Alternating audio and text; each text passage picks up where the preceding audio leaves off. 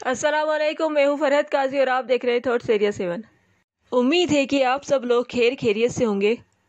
اس مزار شریف کے بارے میں کئی لوگ مجھ سے پوچھ رہے تھے کہ یہ مزار شریف کہاں کا ہے۔ یہ مزار شریف حضرت داؤد شاہ رحمۃ اللہ علیہ کا ہے، جو کہ تمل ناڈو میں ہے۔ ایک جید عالم، ایک ولی کامل کی یہ درگاہ ہے۔ اکثر لوگ جب بھی اولیاء اللہ کا نام آتا ہے تو ان کی کراماتوں کا پوچھنے لگتے ہیں۔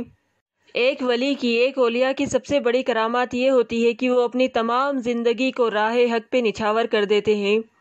اور اللہ تعالیٰ کے بندوں کو، اللہ تعالیٰ کی مخلوق کو وہ ایسا راستہ دکھاتے ہیں جو سیدھے اللہ تعالیٰ کی طرف لے جاتا ہے۔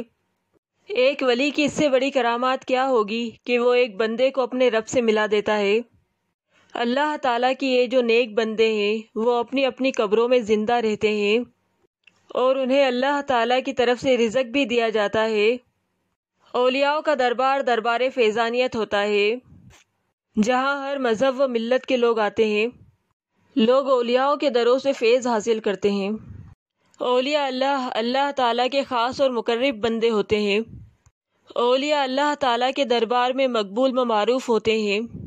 یہ اللہ تعالیٰ کی رضا میں راضی رہتے ہیں، اسی لیے اللہ تعالیٰ بھی ان سے راضی رہتا ہے۔ امید ہے آپ کو ویڈیو پسند آئی ہوگی اور جو لوگ یہ پوچھ رہے تھے کہ مزار شریف کہاں کا ہے، انہیں اس کا جواب بھی مل گیا ہوگا۔ ویڈیو کو آگے شیئر بھی کیجیے اللہ حافظ۔